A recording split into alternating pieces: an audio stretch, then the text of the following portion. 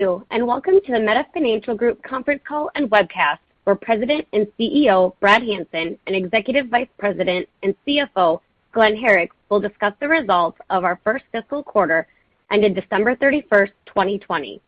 Also participating in the call is Brett Pharr, Co-President and COO of MetaBank. Additional information, including the earnings release and investor presentation, may be found on our website at metafinancialgroup.com. As a reminder, our comments may include forward-looking statements. Those statements are subject to risks and uncertainties that could cause actual and anticipated results to differ.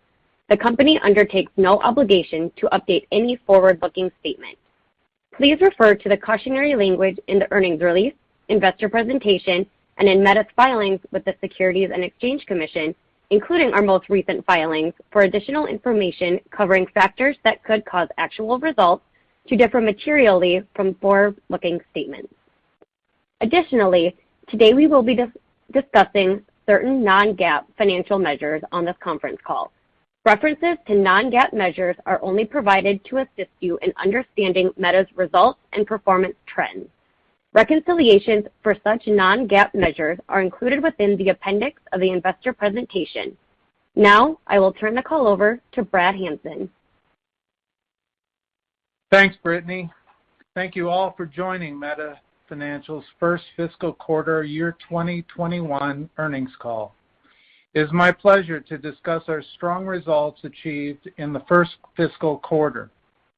I want to start by acknowledging our excellent team and thank our employees for generating these results while dealing with the challenges of the pandemic and serving our customers remotely.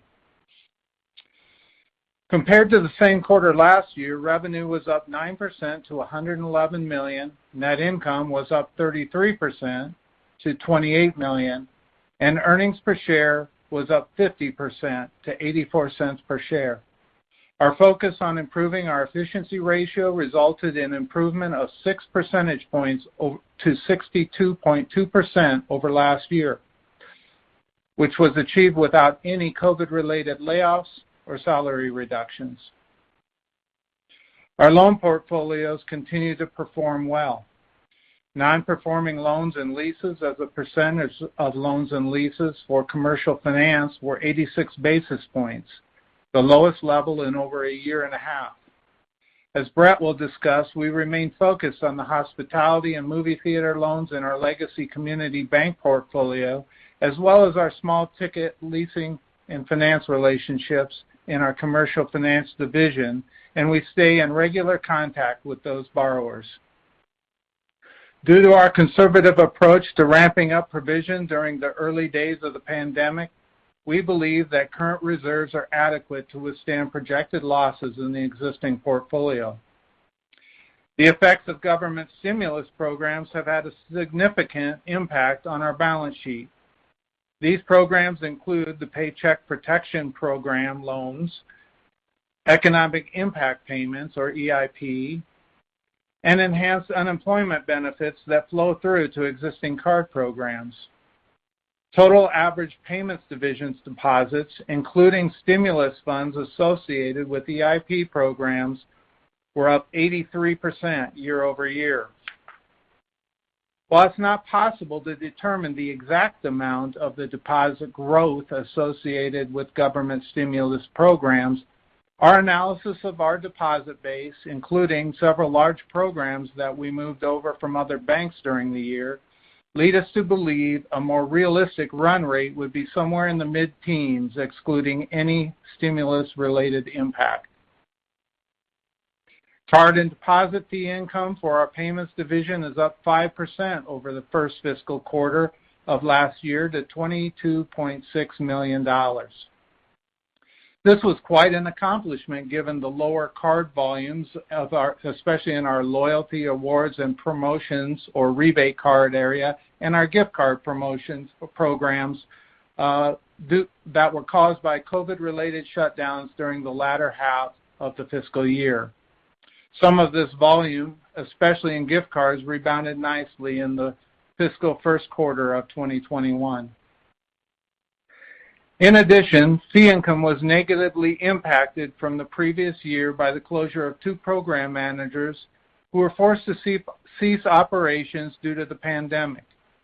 Fortunately, increased activity on other card programs and our new transaction-related payments initiatives like faster payments and acquiring more than made up for these reductions. Overall, fee income plays an important role in our financial performance, accounting for 49% of total revenue for the last 12 months. We expect our fee income-related programs to be an even bigger part of our story going forward. As previously mentioned, MetaBank is a financial agent of the U.S. Department of the Treasury's Bureau of the Fiscal Service and was tasked with issuing prepaid debit cards for disbursement of economic impact payments to consumers under the CARES Act during fiscal year 2020. We recently reported that we were again tasked to distribute prepaid debit cards to individuals as part of the second round of the EIP program. To accommodate this program, we have partnered with Fiserv and Visa to distribute approximately 11.6 million cards totaling $13.5 billion in stimulus funds for the two programs combined. Obviously, a program of this size has significant impact on our balance sheet and performance metrics. For example, our capital leverage ratio, net interest margin, and return on assets will be skewed much lower since the associated deposits are held in cash.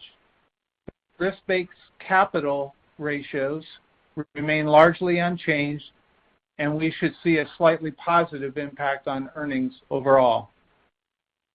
Additionally, we are working closely with our regulators, the OCC and the Federal Reserve. The OCC has granted us an exemption from meeting capital uh, leverage ratios due to the significant but temporary increase in deposits associated with the EIP program.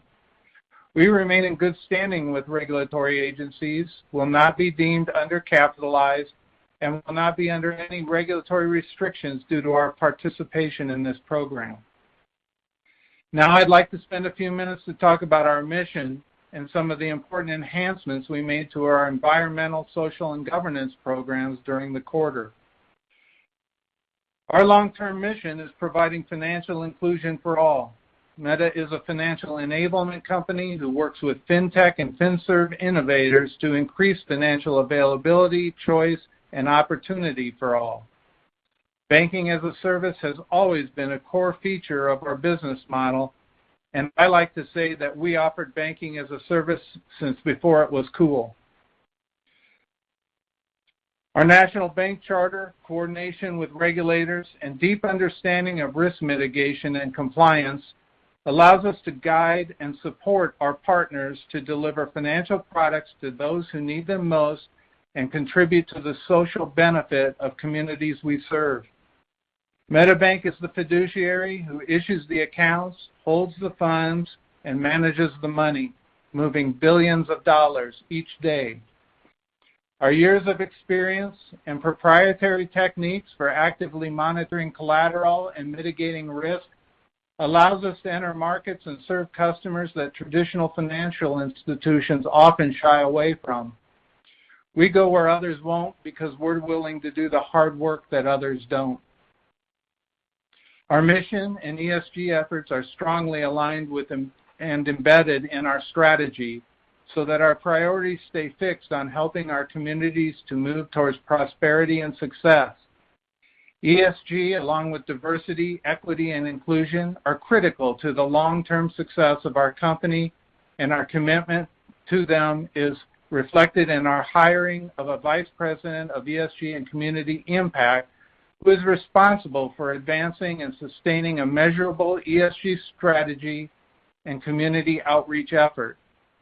This initiative will be overseen by a newly formed ESG committee of our board of directors.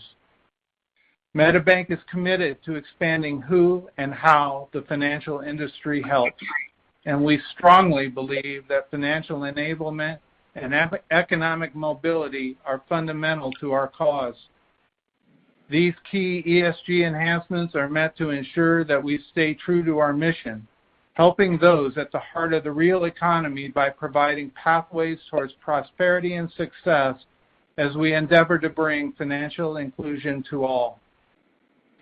Now let me turn the call over to Brett to provide some updates on our lines of business. Thank you, Brad. Today, I'll share some updates on a few of our business lines not yet covered, starting with commercial finance. At December 31st, commercial finance loans made up 70% of the company's gross loan and lease portfolio and totaled $2.42 billion, a 5% increase from the linked quarter. We saw solid growth in term lending, primarily related to our solar lending business and strong asset-based lending originations. During the quarter, our solar credits balance increased 29% from last quarter to $323.9 million. While we have a strong pipeline, we expect that we could see a slowdown in asset-based lending and factoring as a result of the second round of PPP loans, reducing temporary demand for funding. From a credit perspective, we continue to closely monitor each of our lending portfolios, paying significant attention to our legacy community bank hospitality and movie theater loans, as well as our small-ticket equipment finance relationships in the Crestmark division. Our credit management team has remained in regular contact with these borrowers, and we feel comfortable with the level of reserves and collateral in place on these credits. Our legacy community bank portfolio balances continue to decline as the portfolio winds down. The portfolio is performing well, and we have not experienced any further deterioration. As such, we believe our credit metrics demonstrate the company's ability to weather the worst of the pandemic. Movie theater and hospitality loans in our legacy community bank portfolio continue to account for most of our total deferral balances. Our current level of reserves reflects the elevated level of risk in these portfolios, but we are pleased that we are starting to see some positive developments in these relationships. For example, most of the hospitality loans that were on deferral are now back to making P&I payments. In our consumer lending portfolios, credit remains strong, and we have seen no measurable change in performance due to COVID-19. This reinforces the strength of our program structuring and guardrails in place. Non-performing assets increased slightly during the quarter, primarily related to an increase in legacy community banking non-performing loans. The increase in non-accrual balances was driven by one community bank relationship operating in the movie theater industry that moved to non-accrual status in the fiscal 2021 first quarter. As a reminder, this relationship is roughly 50% reserved for. We believe this to be isolated and not a representation of our overall loan and lease portfolio. Finally, I would like to highlight our MoneyLion relationship, as it is a great example of banking as a service and how we are leveraging our balance sheet to create relationships that advance our capabilities and create future revenue-generating opportunities. Through our venture capital arm, Meta Ventures, we were a strategic investor in MoneyLion before we helped power their checking account product called Roar Money. Meta Ventures is focused on investing in early-stage companies that are on the cutting edge of payments and likely to be future users of our platform. By investing in and partnering with fintechs like MoneyLion, we continue to stay on the forefront of payments industry innovation. Now I'd like to turn it over to Glen Herrick. Thank you, Brett, and good afternoon, everyone. Total revenue for the fiscal 2021 first quarter was $111 million, an increase of 9% compared to the same quarter last year. The increase in revenue benefited from the previously disclosed $5 million loss from the sale of foreclosed property during the last year's first fiscal quarter related to a legacy community bank agricultural relationship. Revenue also benefited from the receipt of $3.5 million from a portion of the company's liquidation insurance claims of unearned premiums on the ReliaMax estate related to our student loan portfolio. In June 2018, we announced that we received written notification of the ReliaMax insolvency and that we expected to recover a portion of the unearned premiums. We generated net interest income of $66 million, an increase of 2% for the first fiscal quarter of 2021 compared to the same quarter of fiscal 2020. Net interest income benefited from a reduction in total interest expense related to lower deposit and funding costs. Cost of funds for the first quarter of 2021 averaged just 15 basis points. Fee income represented 49% of total revenue for the 12 months ended December 31, an improvement from 45% for the prior year 12-month period. We continue to see a robust pipeline of fee income opportunities within our payments division and our expanding banking-as-a-service capabilities. We expect fee income to continue to be a greater percentage of revenue over time. Non-interest expense was $72.6 million for the first fiscal quarter of 2021, a decrease of 4% compared to the prior year. We remain disciplined on expense management, as is evidenced by our efficiency ratio of 62.2% for the last 12 months ended December 31, an improvement of over 600 basis points compared to the prior year. We continue to focus on achieving our key long-term efficiency goals by driving optimization and utilization of existing business platforms and leveraging technology to help drive future efficiencies. Overall net income for the quarter was $28 million, or $0.84 per share, an increase of 33% and 50% respectively compared to last year's first quarter. Total assets at December 31 were $7.26 billion, an increase of 18% year-over-year and 19% compared to the linked quarter. The increase is due to the higher level of cash on the balance sheet related to a seasonal increase in deposits, as well as unspent funds from the first and second round of economic impact payments. Deposits in the first quarter also benefited from the 150 million in deposits from the Emerald Prepaid Mastercard program, which were moved to MetaBank as a component of the broader H&R Block relationship that began in the first quarter. As Brad mentioned, we were selected again to disperse a portion of the EIP payments to eligible recipients via bank-issued prepaid debit cards as part of the second round of stimulus, with initial payments having begun in early January.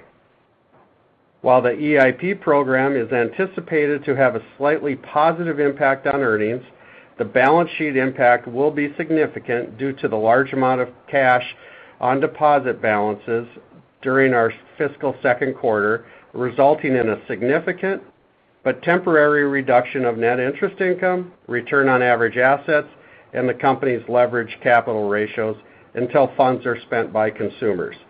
We do not expect these conditions will be sustained long term and do not expect any material impact on our risk-based capital ratios. As a result of participating in this program, we expect to remain in good standing with regulatory agencies and will not be deemed as undercapitalized and will not be under any regulatory restrictions. As you may recall, we reinstated our share repurchase program last quarter. During the quarter, we repurchased just over 1.8 million shares at an average price of $29.46. Since quarter end through January 20th, we purchased an additional 300,000 shares. Under our authorized share repurchase program, which is scheduled to expire on December 31, 2022, we have approximately 2 million shares remaining. We will continue to consider further share repurchase activity within the context of our overall capital deployment strategies, including funding growth initiatives and returning excess capital to shareholders. Finally, we adopted CECL effective October 1, 2020, and its day one entry to increase the allowance for credit losses was $12.8 million, in line with expectations. Allowance for credit losses was $72.4 million at December 31. The increase in the allowance when compared to the linked quarter was largely due to the adoption of the CECL accounting standard. That concludes our prepared remarks. Operator, please open the line for questions. Ladies and gentlemen, if you'd like to ask a question at this time, please press the star, then the number one key on your touchtone telephone. To withdraw your question, press the pound key. Our first question comes from Steve Moss with B. Riley Securities. Uh, good afternoon. Hi, Steve. Uh, hey, Brad. I just want to start maybe on the loan yields here. Uh, Pretty steady loan uh, yields for commercial finance business. Kind of curious how uh, the pricing environment is there, um, and just the activity you're seeing. Yeah, this is Brad. Uh, I'll jump in here. Um, obviously, rates are moving down, and our assets have a fairly um, short duration. So we're we're feeling some price pressure, but just remember the kind of assets that we go after tend to have a higher yield. So uh yeah, there's some price pressure. There's a lot of liquidity in the market. We're not chasing a down market, but we're still holding our own pretty well. Okay. And then uh with regard to expenses here for the upcoming quarter, obviously, you know, big quarter for tax. Just kind of curious as to how we think about total expenses in the upcoming quarter. Um, hey, Steve, this is Glen. Yeah, as always, uh, our fiscal second quarter, the March quarter, is our highest expenses. Um, you know, part a lot of those expenses, though, above our run rate are variable in nature, so it depends on on the volume of tax season as well. But um so, you know, they could go to $95 million, $100 million, but where it settles in at will also Um, correlate with uh, revenues. Okay. That's helpful. And just uh, one last question for me here. On uh, fee income, you guys talked about it becoming a greater percentage of revenue as the year goes on. Just wondering if you could expand on on that and how you're thinking about that percentage growing throughout the year. Well, we have announced several times about our faster payments initiatives and our acquiring business that we entered into during the last year, which is starting to ramp up as well. So uh we have a number of those kinds of transaction-related businesses that we've gotten into that will be ramping up over the next couple of years, and uh, that will be increasing our uh, our fee income. Now, uh, if interest rates go up again and interest income goes up along with it, those ratios could be more or less, uh, uh, depending on those factors. But if interest rates stay the same and our portfolio uh, kind of hangs in where it is, then I think you'll see an ever-increasing percentage of fee income over time. All right. Well, thank you very much for that. Good quarter. You bet. Thanks, Steve. Thank you. Our next question comes from Michael Perito with KBW. Hey, good afternoon, guys. Thanks for taking my questions. Hey, Mike. You bet. I have kind of a conceptual question. You know, Brad, you mentioned some of the uh, ESG and financial inclusion themes that are kind of driving the Meta um, strategy, that, you know, and frankly have been for years, right? But formalizing some of those those thought those those processes and and, and whatnot. I guess as we think about the prepaid card business, you know, it's hard to not look at some of the other, you know, you put on the slide deck, the neobanks or digital challenger banks or things of that nature, you know, kind of going after the same part of the pie here. And I'm curious if you have any kind of longer-term views about the growth rate and viability of the prepaid business as there's more digital disruption from banking alternatives elsewhere. And and I guess, uh, as we think about specifically to Meta, I mean, is it fair to think that with your representation on both sides, that you don't really expect much of an overall impact to kind of how your business grows? Or do you think there's room for growth rates to kind of shift as as you know, time evolves? Well, the neobanks generally don't have a banking charter, and they partner with other banks in order to implement those programs. That's really what we do, is support those guys. Brett highlighted MoneyLion, and the the Roar Money product, which is a checking account product. Um, so, you know, that's an example of us uh, you know, facilitating those kinds of opportunities in addition to prepaid. So I don't think we're just pigeonholed in prepaid, first of all.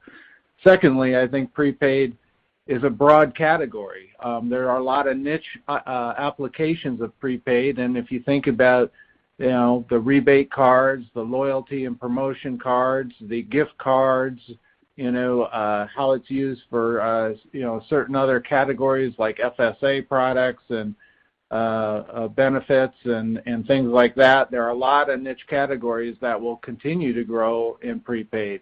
And then finally, Um, even within uh, some of the prepaid reloadable categories, uh, they are still very operating very strong, and we're seeing, growth in a number of those programs. But uh, also, the payroll card programs, which are, beneficial to employers. So uh there are lots of opportunities within prepaid. There's lots of opportunity for us with the neobanks and the fintechs that are out there for us to support their programs and partner with them. I think the uh, you know the the industry and the category is very uh, broad, so uh, uh, have no concerns about competitive pressures at this time. That's very helpful. And you know, I think, you know, last I checked, there's maybe a couple dozen of of banks that one way or another are are kind of in this, you know, embedded finance or banking-as-a-service arena. I mean, have you noticed any change in, in the competitive landscape as far as kind of the amount of um, other banks looking at deals you're looking at? Or has it been relatively steady for you guys? And you know, I know you've been doing it for a long time, but just curious if that that competition has has really noticeably changed at all over the last, you know, 12-24 months. I'm not seeing any uh, competition noticeably change in the last 12-24 months. In fact, I've seen opportunities increasing in all categories. Great. Um, I also wanted to talk about the uh, the capital. I saw in the release that you guys are getting some temporary relief because of the EIP uh, and the impact on capital. Just curious if you could comment if at all, if any, that there's an impact on kind of your appetite near term for share repurchases. And is it fair to think that either way, you know, coming into tax season here when the balance sheet's typically, you know, a bit more levered, that that buybacks are likely, you know, not gonna be quite as robust near term, but, you know, longer term, we should still view them as a piece of your capital deployment strategy? Glen, you wanna take that? Yeah. Um, you know, again, we talked about keeping a you know our balance sheet outside of the temporary EIP impact, keeping a balance sheet in that $6 billion-$6.5 billion range uh, for quite some period of time. And the returns we expect to generate, we're gonna generate a lot of excess capital. And um, you know, we'll look at all those options, but certainly share repurchases will be a part of that. Okay. Um, excellent. Thank you, guys. I appreciate it. Yep. Thank you. Thanks, Mike. As a reminder, ladies and gentlemen, that is star then one to ask a question.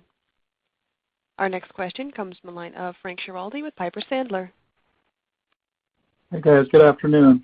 Um, just wondered if you could uh, give uh, any color on or thoughts on the tax season um, so far, especially given just how unique the environment is and things like, you know, greater flexibility in the earned income tax credit um, in terms of, you know, filers using Uh, either 2019 or 2020 uh, income. And uh, I would imagine overall that would increase payout and more potential for refund advances. But any thoughts there you could offer? Brett, do you wanna start with that? Yeah. So, you know, we enter every tax season with a set of, um, you know, very experienced people. We're probably more prepared for this season than we ever have.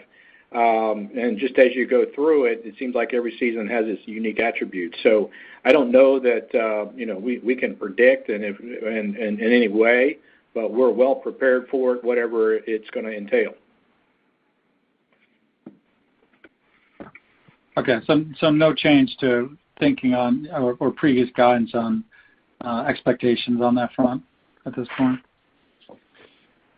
Uh, I think that, you know, the industry overall actually, you know, thinks that there'll be some delay. You know, the the IRS deferred the start of the tax season and the processing. So uh, I think we'll see some delay, but I think the industry overall thinks it'll be pretty consistent yet. That's to be seen. We won't know until we get into the season and start to see how people are reacting to all these changes. Okay. Thanks. And then um, I wonder if you could just talk about the continued reduction in the community banking book.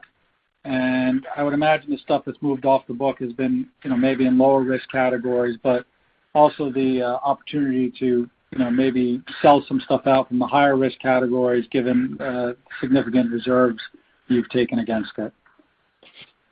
Um, hey, Frank, it's Glen. I wouldn't necessarily classify it as uh, lower risk stuff.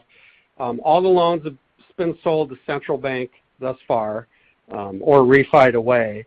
And so central Bank's working through the relationships that they want to prioritize long term as they have capacity on their balance sheet. Now, clearly, um, they're being very cautious about the hospitality and the uh, theater loans we have. Um, but, um, but, but it's not a, we're not necessarily beyond that left with an adverse um, um, selection. And yeah, that portfolio will eventually get to zero, one way or the other. But right now we feel good about the loans that we do have on our balance sheet. Um and those that we're watching closely, we feel good about the reserve levels that we have against them.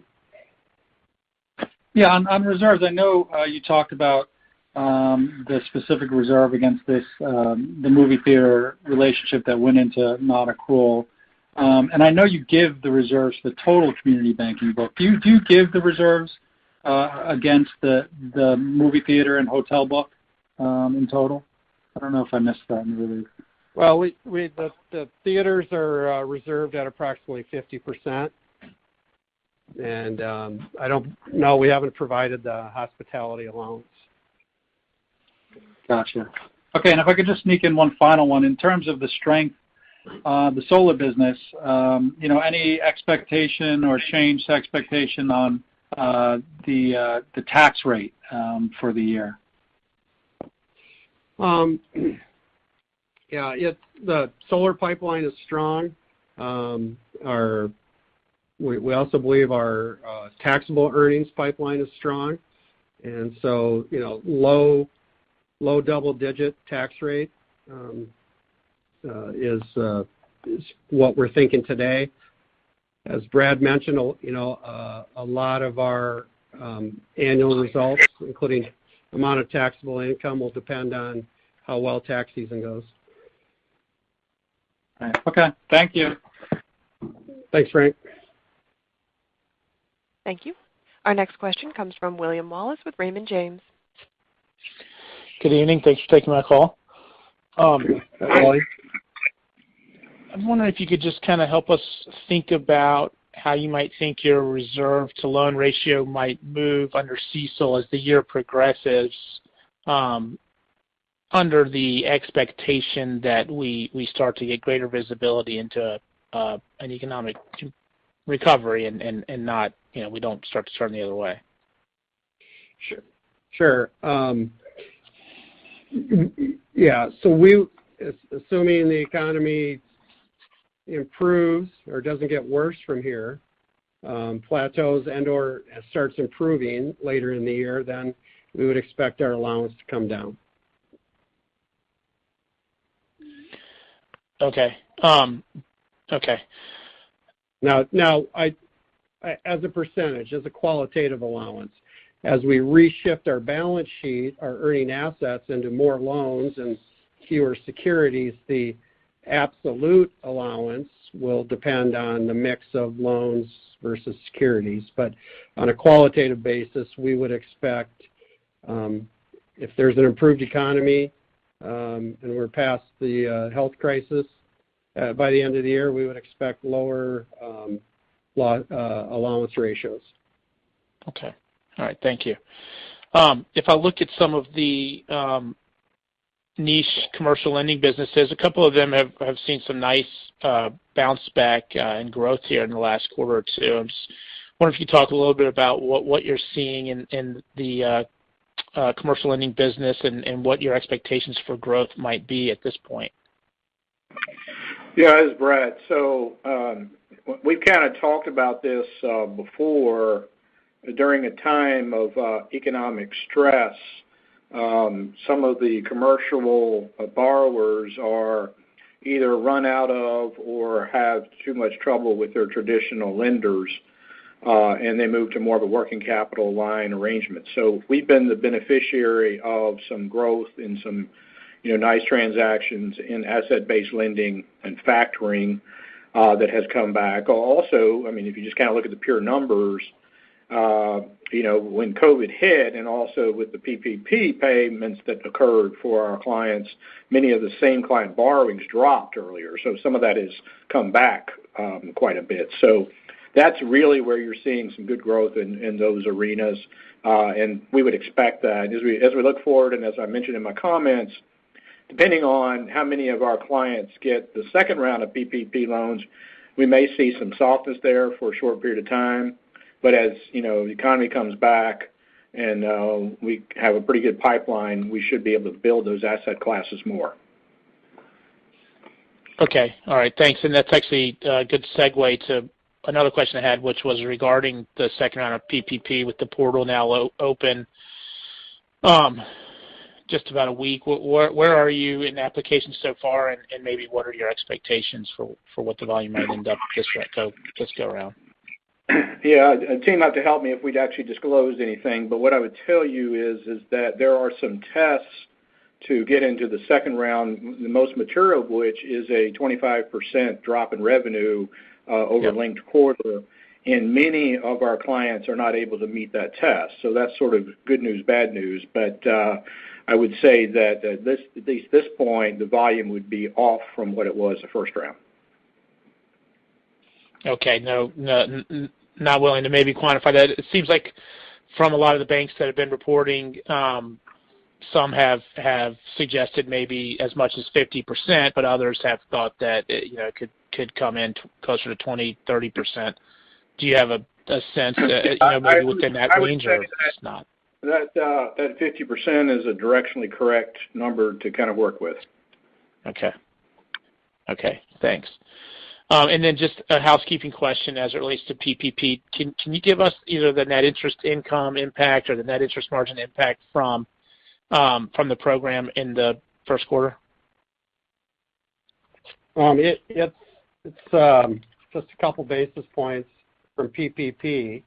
Um it's it's really our impact on net interest margin is far outweighed by the impacts of these EIP deposits. Yeah. Yeah, and so that's actually that I'm I'm looking at my model and thinking that trying to forecast that net interest margin might be a meaningless exercise with all of the noise. Um, it, it's, maybe it's going. Yeah, uh, NIM is going to be noisy throughout the rest of 2021.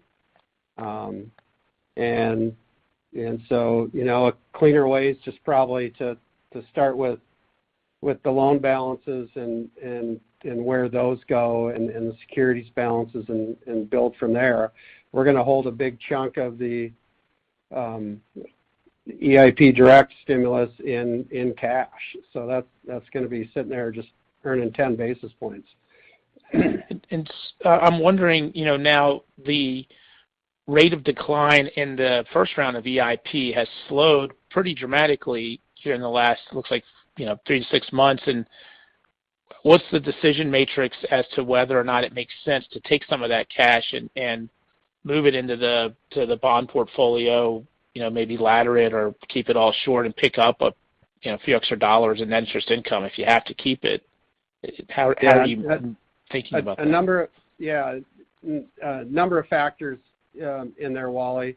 Um, so, You know, a lot of deposits that you see hanging around from from the first stimulus last spring are still cards that have been unactivated. Mm-hmm. And so we continue discussions with our partners on that program. Um, you know, when the plan was rushed out, I don't think Congress ever anticipated that folks wouldn't actually take the money. and um, and use it. So um so those discussions continue, and as well as some of our regulatory waivers on leverage ratios um, um, you know, call for us to uh, to keep that in cash, which is why our risk-based ratios aren't moving. So um that said, um, we do have excess liquidity. We're looking at options in securities and other ways to use that powder. That being said, we also don't want to Um, lock in too much interest rate risk, but uh, we'll deploy some of it. Okay. And I would I would just state that uh, the unactivated cards are still activating from uh, from last May's release of cards. So um we're still seeing some you know activations on a daily basis, albeit small. And at some point, if that slows down or stops altogether, one of the considerations is that money, uh, uh, if it never does get accepted, we don't get it. We have to uh, give it back to the government. So we don't want to tie that up you know, too long term. Understood. Yep. Thank you. Um, that's all I have. I appreciate your time. Thank you. Thank you. And that concludes the Meta Financial Group first quarter fiscal year 2021 investor conference call. Thank you.